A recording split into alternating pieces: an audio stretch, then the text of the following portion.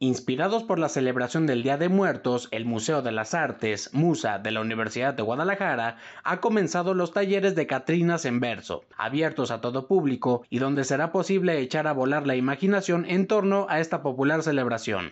Este taller tendrá una nueva sesión el próximo 30 de octubre a las 16 horas y la idea es que sus participantes puedan adentrarse en dos dinámicas. La primera es crear una calaverita de papel con cualquier decorado haciendo alusión al 2 de noviembre y la segunda es crear una calaverita literaria. Aquí les damos todo el material que van a necesitar tanto para hacer la calaverita literaria como para la calaverita de papel.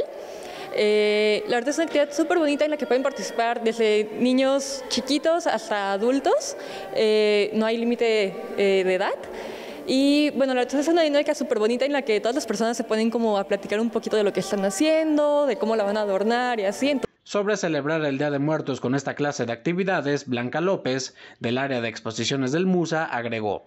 Pues claro, es importante porque es un día festivo y yo creo que para los mexicanos obviamente pues marca mucho y pues no queríamos que dejara así como pasar desapercibido, sino que tuviera alguna actividad importante.